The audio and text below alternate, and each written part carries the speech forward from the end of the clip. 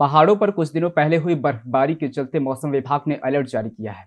हिमस्खलन की चेतावनी देते हुए मौसम विभाग ने चारधाम यात्रियों को सुरक्षित स्थानों पर रुकने की सलाह दी है। उत्तराखंड में चल रही चारधाम यात्रा को लेकर मौसम विभाग ने अलर्ट जारी कर दिया है। मौसम विभाग के निदेशक विक्रम सिंह ने कहा कि तापमान बढ़ने से पिछले दिनों हुई बर्फबारी के चलते चारधाम जाने वाले रास्तों में हिमस्खलन जैसी स्थिति बन गई है।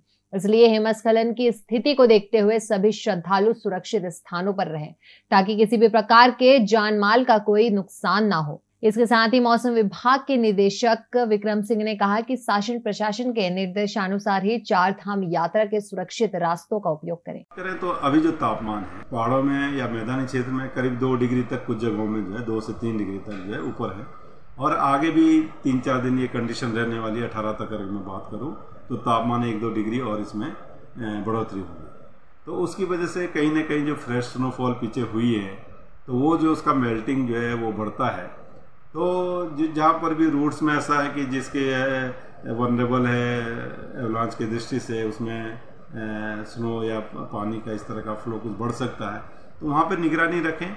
और जो लोग जा रहे हैं, वो भी थोड़ा देखते हुए आगे बढ़े जब भी ऐसी चीज़ें कहीं दिख रहा है। मध्य प्रदेश की महिलाओं के आर्थिक सशक्तिकरण के उद्देश्य से संवेदनशील मुख्यमंत्री शिवराज सिंह चौहान द्वारा मुख्यमंत्री लाडली बहना योजना का उपहार सभी पात्र महिलाओं को दिया गया है। इसके तहत उन्हें प्रति माह एक हज़ार रूपए दिए जाएँगे। ये राशि सीधे उनके बैंक खातों में पहुंचाई जाएगी। योजना की प्रक्रिया बेहद सरल और निशुल्क है। योजना से जुड़ने के लिए बहनों को कहीं भटकने की आवश्यकता भी नहीं है। दस जून को पहली किस्त बहनों के खाते में आ जाएगी एक हज़ार रुपया की पहली किस्त।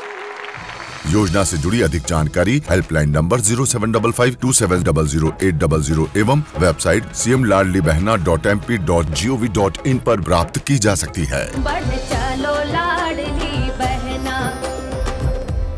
वो खबरें जो आपके काम की है। वो खबरें जो आपके लिए ज़रूरी है। हर आम और खास से जुड़े मसले। हर मसले का सटीक विश्लेषण। हम करते हैं सत्य का अन्वेषण। दखल न्यूज़। आपके हक में। आप देख रहे हैं दखल न्यूज़।